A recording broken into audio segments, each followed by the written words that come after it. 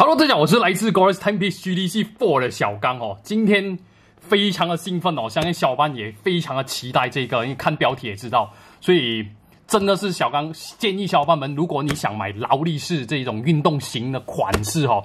呃，真的是要把这个影片看完，你会学到很多。我会小刚会分享个人的经验呐，那主要是给大家分享一下我小刚如何可以买到这一种，呃，这一个怎么说，以原厂的售价、原厂的定价，不是炒价，可以买到这个劳力士这种运动型的款式，甚至是它原厂的定价是呃多少钱，什么价格，然后它二零二零年全新呢有什么改变，有什么不一样呢？我们一一来看一下哈，非常的简单。那你看到这个一进来哈，那它纸盒的分分分别哈，那如果你没有买过劳力士哈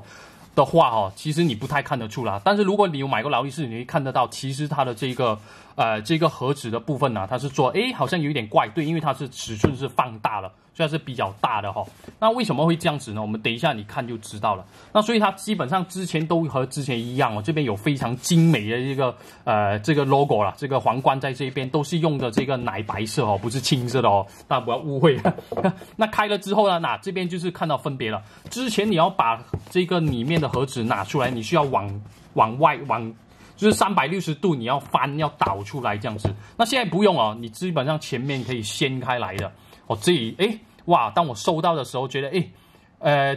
还蛮有那一种哎，给你觉得它哎，反而是让我觉得高级了，有那一种感觉了哦。那基本上你看的这个表和它基本上颜色都一样哦，所以这个它非常的好，因为你可以往外就是这样子啊，基本上你就不用呃非常的 非常的精美哦做到。那小刚可以分享的经验就是说呢，就算是盒子都好哦。小刚个人觉得劳力士的盒子啊，是小刚拥有过那么多盒子啊，甚至小刚手上这一只啊，呃，这一个纵横四海了，呃，江诗丹顿啊，Vacheron Constantine 这一个啦，它的表盒啦，甚至是很多很很名贵的一些名表，它的表盒久了之后都会氧化，氧氧化之后它都会自己会烂掉。那这个反而劳力士哦，它的那个材质，因为它是用了这种稍微比较硬的材质哦，所以基本上如果你不用太去。照顾的话，哈，它都不会，你放了好多年，哪怕是十年之后哦，都不会说会坏掉这样子哦，而且都是一样，跟新的一样哦，所以这个也是我喜欢劳力士的这个盒盒装啦，这个盒子的一个一个 一个特点啊哈。那进到里面呢，你看到这边它尺寸大了，所以这边还是一样，跟之前都是一样，有一个暗格的。那一种质感是非常的优质哦，可以小刚这样说，那个绒布的那一种短毛绒的那一种感觉，非常的漂亮。金色的 logo，绿色的 Rolex 这一个字样在一边，然后里面也是一样有暗格的哈，这个暗格的手感是非常的优，非常的好哦。所以你打开之后呢，你可以把你所有的收据啦，或是一些等等的一些呃，你想要放在这边的一些资料啦，或是一些手册啦，通通都往这一边放哦。这个这个暗格在这一边哈，所以我们现在一一来看一下哈，有什么东西啊？第一本呢，我们要看的就是这个，它会有附附上一本。呃，基本上我们说全套齐的话，一般上你就会看到有这个 Oyster Perpetual Explorer，这个就是关于这一本表的这个一些使用的手册了。哦，这个 Oyster Perpetual。再来呢，就是小刚刚有提到了，大家都也非常期待。那到底马来西亚啦的售价啦的定价，就是不是说炒价哈，是多少钱呢？这一只表呢，我们现在一一来看一下哈。那其实这一只表售价是大家看到吗？两万四千五百九，二十四千五百九哦，哦，你看到这个二一四二七零在这一边哈，哦，这个就是它原厂的这个售价哦，也不是炒价哦，这这个是非常非常的难得，几乎好像中了彩票一样哦，真的是非常的。当小刚一接到电话，哎，呃，你可以过来买买这一只表的时候，小刚真的是。放下手头上所有的工作，立刻就拿去把这只表带回家，非常的呃，非常的开心，立刻就跟大家分享哦。那如果说到全套真正的全套期的话哦，那小伙伴们一定要收好这个收据，因为哪怕是你十年、二十年之后呢，你这一只表啊，如果比起一些是没有收据的话，你的价值会来得更好，而且更有这个收藏的这个我们说收藏性啊，收藏的这个价值哦。所以这个收据你一定要收好。那再来呢？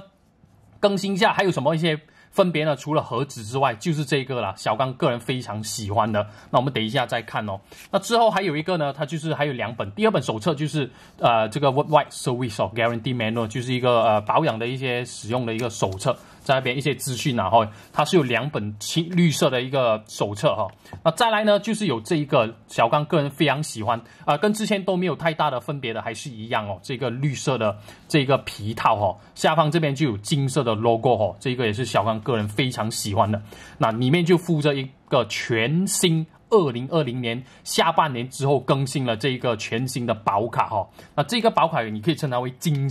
金边卡了，因为。小刚，你看哦，我们给大家看，看到吗？它边的边缘这一边哦，完全是包金的哦。哇！当小刚拿了之后，一拿上手哦，小刚真的是觉得哇，瞬间升了几个档次啊！因为之前的他要写名字啊，而且做的是比较普通，那这个它就有烟熏的效果哦。你会看到它是闪闪发亮的，而且这个中间的部分哦，这个 logo 是反光金色的哦，下方也是精致的，哇，真的是非常的这个。做的是非常的优，非常的漂亮。那部分呢，很多人在意的哦，每次买表了要写名字啊，那大家不用去担心了。现在基本上后面就没有写名字。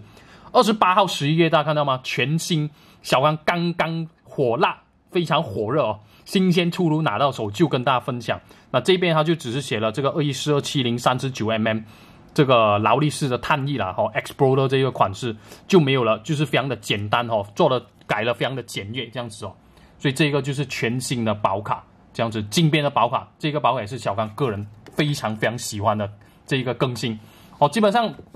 它的一些配件就是这样子，非常的简单，没有多余的配件。而且就是让你觉得一种非常耐看，永远都不会看闷的，不会看腻的哦。那再来呢，它就有那之前小刚买过的一些这个劳力士啊做过的影片呢，它是没有给到那个白色的这个 tag 啊这个标签呐。所以因为这个标签它是有这个表的这个序列号的哈，所以这也是蛮独一无二的。所以如果有的话是最好了，可以收好这一个白色标签哦。那这个它质质感是非常的好哦，它不是纸哦，它是它是。塑胶硬的哈，这个硬硬的材质的。那再来就是这个，那这个也是你看到这个青色的呢，就是这个劳力士是五年的这个保价了，warranty five years 时候就是五年的这个保库了。那这个青色的，就是它证明它是这个，大家看到吗？这个它有写 superlative certified，就是说每天是加减啊不超过两秒这样子，就是说它根据劳力士自家的这个精准度了哈，是非常的厉害这样子。那这个标签呢？呃，基本上在民间也是有仿的啦，就是说假的那一种，所以大家如果买二手的话，还是稍微要注意一下。那下面的部分呢，你看到就没有了，所以这一只就是表哈。那我们呃来看一下这一只表，那表的部分呢，带有什么分别呢？基本上其实它跟一六年的那些，我们先来查一下哈。这个是二零一六年之后的一些分别啦，哦，所以它基本上。都这个是说我们称它为第二代啦，因为二一四二七零哦，其实它有好。它有好几个啊，就是说第分了第一代跟第二代。那第一代呢，就是小刚之前都有开箱过的这个三六九的部分呢，都是用了这个白金的哦，就是以呃，那这个三六九啦，如果你看到它是有夜光的，这个就是二零一六年之后所更新的，就是完全整个面盘都是有这个蓝色啊，这个劳力士 Chroma Light 的这个夜光的。所以你看到它的这个分别，还有就是它的时针也是做的比第一代。来的比较长，就我们所谓的 Mark One 跟 Mark Two 的一些分别，这样子了哦。但是都是一样，二亿四二七零也是一样，三十九 mm 哦，都是一样，规格都是一样。呃，这个三十九 mm 表耳到表耳大概也只在这个三十啊四十七、四十八 mm 左右，所以非常完美的一个规格啊。小刚个人认为，而且厚度只有十一。Mm 左右了哈，所以这个以这样这样子的这种运动型的这种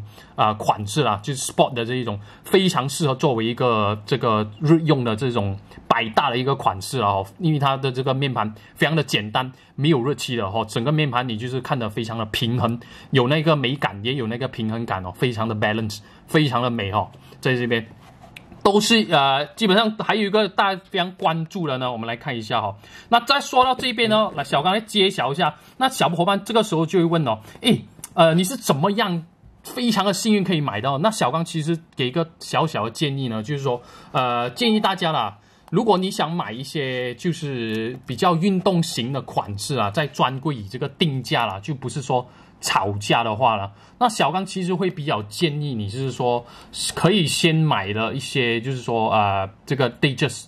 Digest 就是说一些日志啊，或者稍微没有太炒的太高的一些款式，就是可能你先入手一些 Digest 啊，或是一些别的款式这样子。呃，你是你不一定要说你要买了十支或是二十支，哪怕你只是买一支，那他这个专柜呢，看到你有那个，嗯，不是说因为要去买来炒，不是说拿去卖哦。其实专柜他们是有他看的，其实他有你你是有那个诚意的话啦。哦，其实他还是会呃安排，其实会让给你这样子哦。他不是说呃，因为他因为这种实在是太火，太多人要了嘛。如果你只是单单进去这一边，直接进去这个专柜，劳力士 Rolex 的这个 boutique，你进要去说，哎呃有没有这个呃这个呃水鬼 Submarine 呢？有没有这个 Air King？哦有没有这个 Milgauss？或是有没有这个怎么说 Explorer？基本上。你去一百间，一百间都会跟你说没有，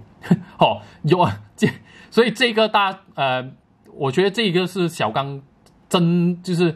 呃怎么说呢？真实的一个经验呐。所以如果你想买到这一种类型以这个定价买到的话，哈，不要说吵架的话，你可以试试先入手一些呃可能普通的款式。那基本上接下来你可能第二支或第三支，你就很容易，他就会。啊，拨电话跟你说，哎，谁谁谁，呃，先生，你已经可以，呃，就是可以买到这一种这个呃运动型的款式 Explorer 这样子。那 Explorer 探一啊，我们简称为，因为它是探险家嘛，一号哦，其实没有一号的啦，因为它有探二 Explorer Two，那基本上这个民间就称它为探一。这样子啊，因为 explore 嘛，对不对？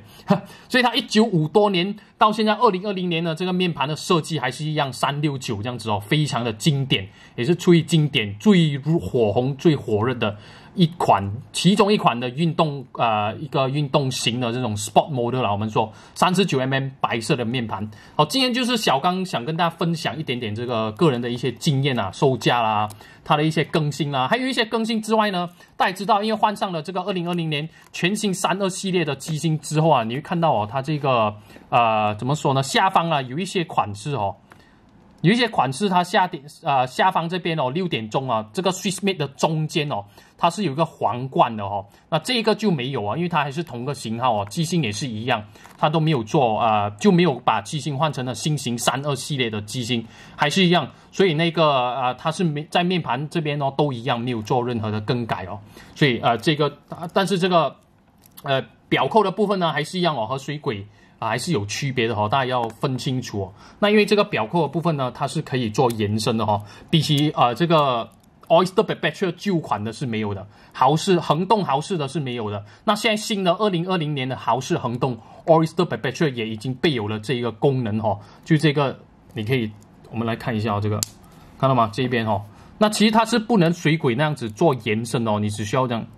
如果你戴的比较累的话，你想戴的比较松，你这边其实只要往外扒的话，往往外拉的话，这边是可以比较松的哦。那它不像水鬼可以延伸，可以随意的延伸哦。所以这个表扣的部分呢，就做的比较短。那水鬼呢，它是做的比较长哦。所以这边还是有分别的。如果你要戴的比较舒服，个人觉得这一个会比较适合，因为它这个表扣的部分呢，做的比较短，那水鬼就稍微比较长，这样子厚度也是一样哦，非常的精美，非常的漂亮哦。来查一下，